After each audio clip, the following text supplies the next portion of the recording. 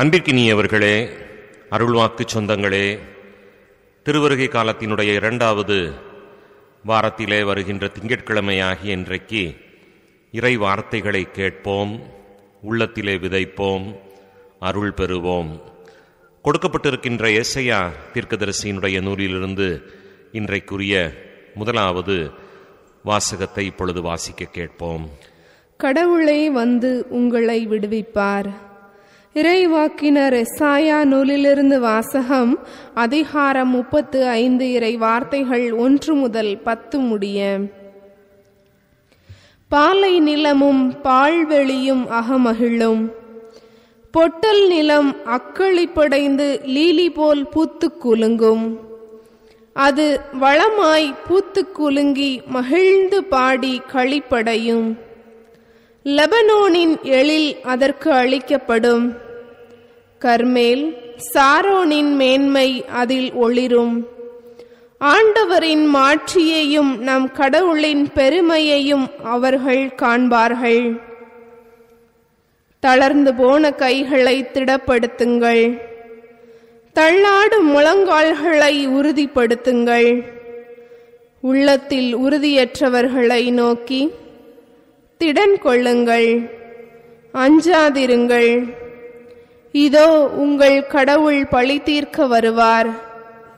அநீதிக்கு பழிவாங்கும் கடவுளாக வந்து உங்களை விடுவிப்பார்.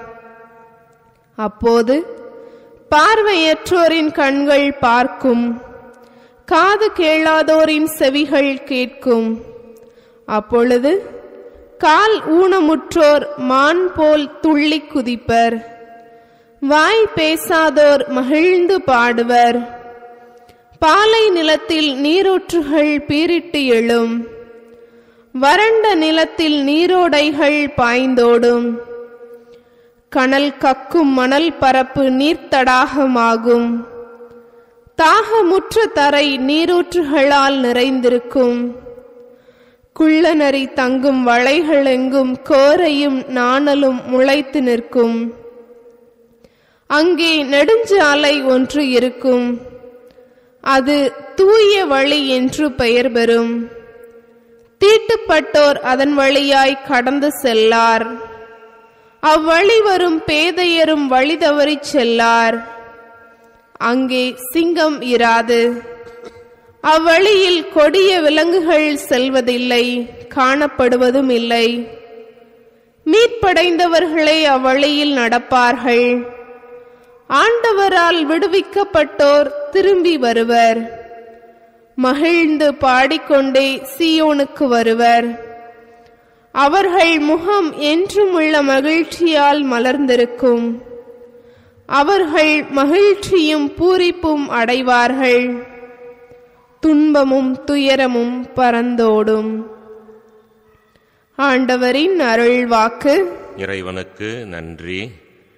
அன்பிற்கினியவர்களே தாவிதரசரது திருப்பாடல் எண்பத்தி ஐந்து இன்றைய நாளுக்குரிய பதிலுரை பாடல். நாம் இணைந்து சொல்ல வேண்டிய வாக்கோ இதோ நம் இறைவன் வந்து நம்மை விடுவிப்பார். இதோ நம் இறைவன் வந்து நம்மை விடுவிப்பார். இதோ நம் இறைவன் வந்து நம்மை விடுவிப்பார். இதோ நம் இறைவன் வந்து நம்மை விடுவிப்பார். ஆண்டவராம் இறைவன் உரைப்பதை கேட்பேன். தம் மக்களுக்கு தம் மிகு அடியாருக்கு நிறைவாழ்வை அவர் வாக்களிக்கின்றார். அவருக்கு அஞ்சி நடப்போருக்கு அவரது மீட்பு அண்மையிலே உள்ளது என்பது உறுதி. நம் நாட்டில் அவரது மாட்சி குடிகொள்ளும். இதோ நம் இறைவன் வந்து நம்மை விடுவிப்பார். பேரன்பும் உண்மையும் ஒன்றை ஒன்று சந்திக்கும் நீதியும் நிறைவாழ்வும் ஒன்றை ஒன்று முத்தமிடும் மண்ணினின்று உண்மை முளைத்தெழும் விண்ணினின்று நீதி கீழ்நோக்கும். இதோ நம் இறைவன் வந்து நம்மை விடுவிப்பார். நல்லதையே ஆண்டவர் அருள்வார். நல் விளைவை நம் நாடு நல்கும். நீதி அவர் முன் செல்லும். அவர் தம் அடிச்சுவடுகளுக்கு வழிவகுக்கும். இதோ நம் இறைவன் வந்து நம்மை விடுவிப்பார். இதோ நம் இறைவன் வந்து நம்மை விடுவிப்பார். அல்லே லூயா அல்லே லூயா இதோ மாநிலத்தின் ஆண்டவராம் அரசர் வருவார். அவரை நமது அடிமைத்தனத்தின் நுகத்தடியை அகற்றிடுவார். அல்லேலூயா. ஆண்டவர் உங்களோடு இருப்பாராக. உம் ஆன்மாவோடும் இருப்பாராக. புனித லூக்கா எழுதிய நற்செய்தியிலிருந்து வாசகம். ஆண்டவரே மாட்சி உமக்கே. பிரிவு ஐந்து. இறை திருவசனங்கள் பதினேழு முதல் இருபத்தி ஆறு முடிய. அக்காலத்தில் ஒரு நாள் இயேசு கற்பித்து கொண்டிருந்த போது கலிலேயே யூதேய பகுதியிலுள்ள எல்லா ஊர்களிலிருந்தும் எருசலேமிலிருந்தும் வந்திருந்த பரிசேரும் திருச்சட்ட ஆசிரியர்களும் அமர்ந்திருந்தார்கள். பிணி தீர்ப்பதற்கான ஆண்டவரின் வல்லமையை அவர் கொண்டிருந்தார். அப்பொழுது சிலர் முடக்குவாதமுற்ற ஒருவரை கட்டிலோடு சுமந்து கொண்டு வந்து அவரை உள்ளே கொண்டு போய் இயேசுவின் முன் வைக்க வழி தேடினர். மக்கள் திரண்டிருந்த காரணத்தால் அவரை உள்ளே கொண்டு போக அவர்களால் முடியவில்லை. எனவே அவர்கள் கூரை மேல் ஏறி ஓடுகளை பிரித்து அவ்வழியாய் மக்கள் நடுவில் அவரை கட்டிலோடு இயேசுவுக்கு முன் இறக்கினார்கள். அவர்களுடைய நம்பிக்கையை கண்ட இயேசு அந்த ஆளை பார்த்து உம் பாவங்கள் மன்னிக்கப்பட்டன என்றார். இதை கேட்டு மறைநூல் அறிஞரும் பரிசேரும் கடவுளை பழித்துரைக்கும் இவன் யார்? கடவுள் மட்டுமன்றி பாவங்களை மன்னிக்க யாரால் இயலும்? என்று எண்ணிக்கொண்டனர். அவர்களின் எண்ணங்களை உய்த்துணர்ந்த இயேசு அவர்களை பார்த்து உங்கள் உள்ளங்களில் நீங்கள் எண்ணுவதென்ன?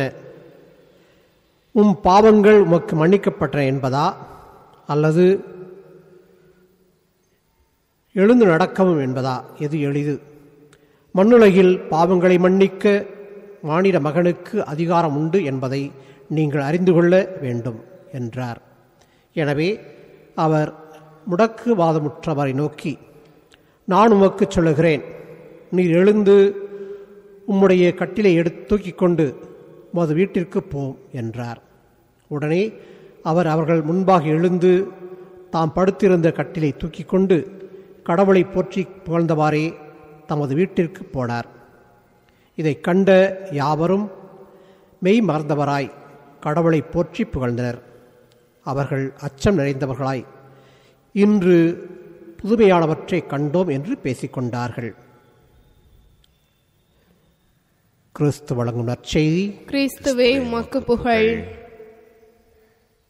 அன்பிற்கு இனியவர்களே இன்றைய பதிலுரை பாடலின் பல்லவியாக இதோ நம் இறைவன் வந்து நம்மை விடுவிப்பார் என்று கேட்டோம். ஆம். துன்பத்திலிருந்தும் துயரங்களிலிருந்தும் விடுவிக்கின்ற இறைவனாக இயேசு மக்கள் முன்னிலையில் செயல்பட்டார். அதைத்தான் நற்செயல் பார்க்கின்றோம். நம்பிக்கையுடைய நால்வர் முடக்குவாதமுற்றவனை கட்டிலோடு தூக்கிக்கொண்டு இயேசுவின் முன்னால் கூரையை பிரித்து இறக்குகின்றார்கள்.